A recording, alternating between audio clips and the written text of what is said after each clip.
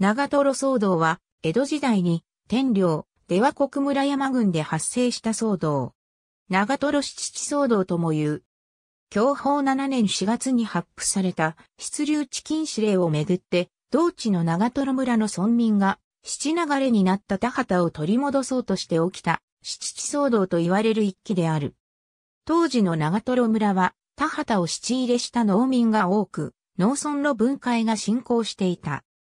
債務者300要人に、債権者46人、証文が320通で、債務者の借金総額は3980両、利子は年に2割から2割5分という状況だった。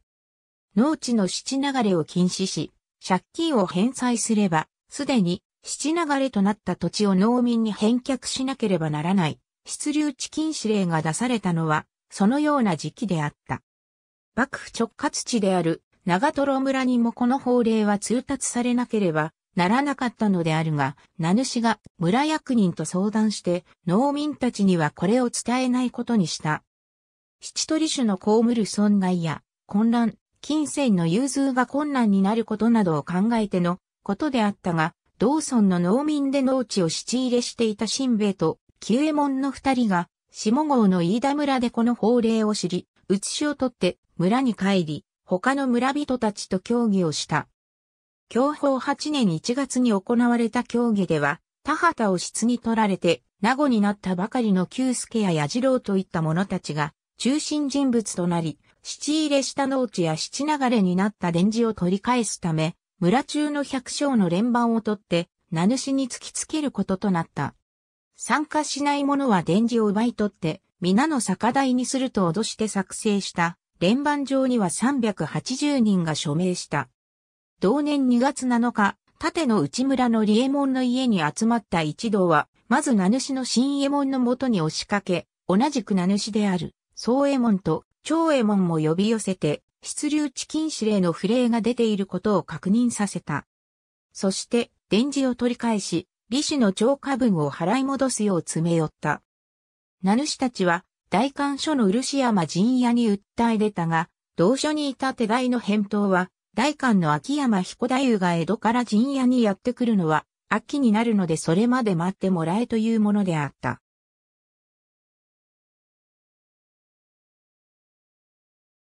それまで待てないと考えた長瀞村の村民380人は同月11日、新衛門の家に押し寄せ、要求通りにするよう談判に及んだ。大官所に鎮圧してもらうような主たちは願い出たが、400人近い村人たちを相手にできる武力がないため、大官所の手代はまず13日に、新兵たち中心人物に召喚状を出して交渉しようとするが、誰も応じなかった。再度召喚するが、それに応じないばかりか彼らは46人の債権者の家から田畑の出入り証文や留置の証文320通を強引に取り上げてしまった。中には七流れになっていた自分の伝示を取り返しただけでなく、すでにその土地に新しく家屋を建てて居住していた債権者を追い出し、自分がその家に住んでしまう者までいた。それに対し、債権者たちは名主、組頭の連署で正式に大官所へ訴えたことから、同月20日に大官手代の木村尾上右衛門が事態を報告するため江戸に向かった。それを知った一期勢は債権者のもとへ押し寄せ、あらかじめ用意した文句通りに書くように強要して、借金の証文は双方話し合いの上で渡したという証文を取り付けたが、債権者たちもそれが脅迫されて書いたものであることを大官所に訴え出ていた。3月10日、大官の命を受けた手代の吉田貞七と宇野丹蔵が漆山に到着。債務者と債権者の双方から提出させた証文や、その写しを調べ始めたが、取り上げた本証文の写しを差し出すようにという命令を、すでに話し合いで解決したことだからという理由で、一期勢は拒否した。再度の命令も聞かないばかりか、一期勢は大官所を取り巻いて規制を上げたので、吉田と宇野は債権者側の言い分をもとにした調書だけを作成した。そして一期勢に対して、七地証文を取り上げた理由を書き、それに本人の署名をして持参するよう命じた。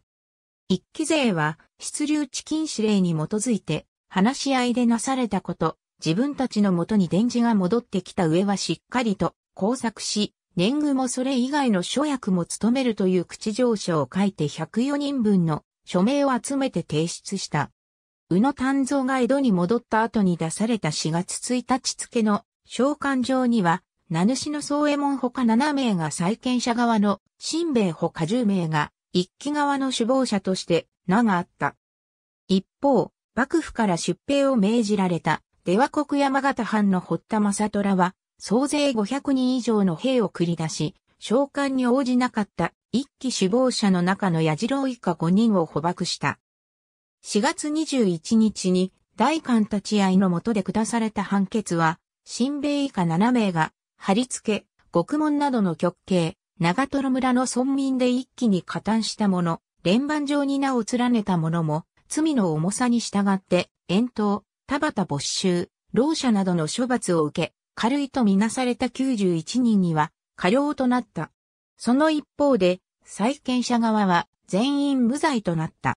幕府は、翌8年、同様の騒動が全国に拡大せぬ、要禁止令を廃止した。これにより、全国に大地主が現れるようになった。大官に使える過料。他の274名は取り調べの途中で仲間から抜けていった。内訳は、貼り付け2名、獄門4名、遠投9名、田畑取り上げと、老者5名、老者1名。ありがとうございます。